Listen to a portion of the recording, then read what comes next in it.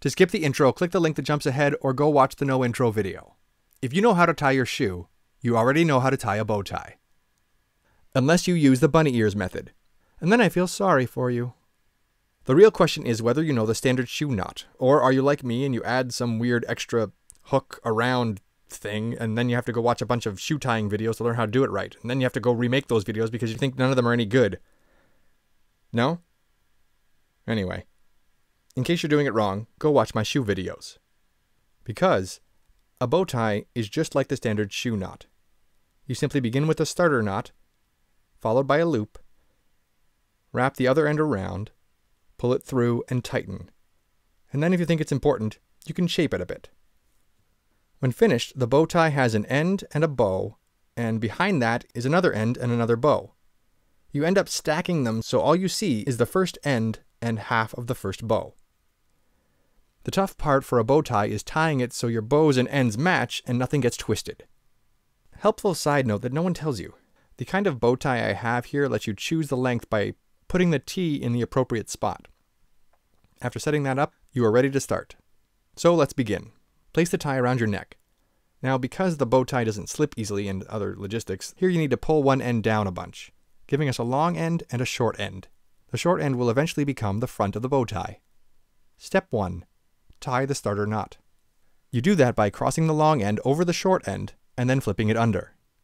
When you pull it through, keep it on this side.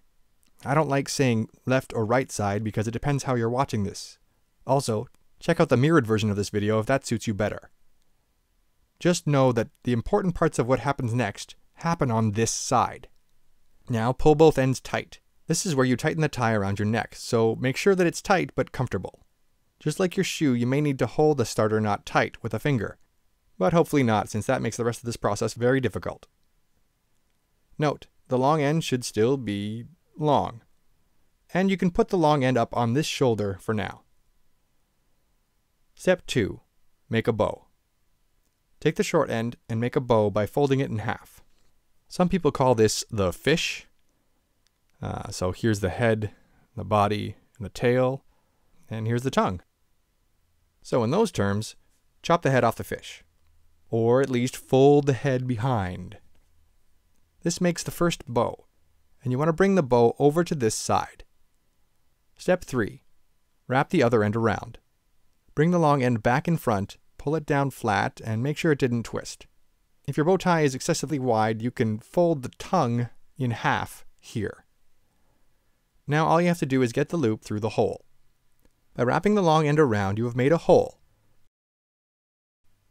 And you want to push the head of the long end through it. You may be wondering which side of the hole you want to use. Just remember to use this side.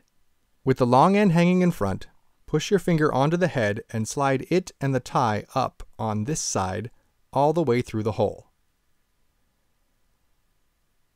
If you need more space, see if you can pull the top and bottom parts of the hole close to your neck apart.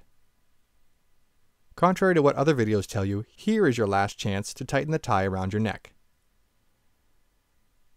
With your other hand, grab and pull it through, but be careful not to pull the end through. You may need to pull the tail back a bit and that is easier if you can grab the fish heads. Pulling on the fish heads will tighten the knot. And you're done. Well, you're done the tying part. Now you have to get it to look right. Just like your shoe, you can still tighten the knot more if you need to, as well as pull the ends or the bows to make them longer or shorter in order to get them to match. This is what really makes a bow tie look right. It's a whole other step where you shape the tie as much as necessary. Additionally, for a bow tie, you have to play with the ends and the bows to get them flat and untwisted. Take a bow and an end in one hand, and take a bow and an end in the other hand, and twist the whole tie up and down. Then pull both parts tight. Keep playing with the tails and the bodies until it looks right. You may also need to work with the middle a bit.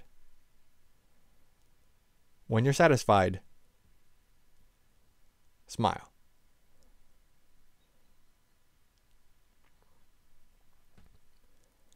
Don't spend too long.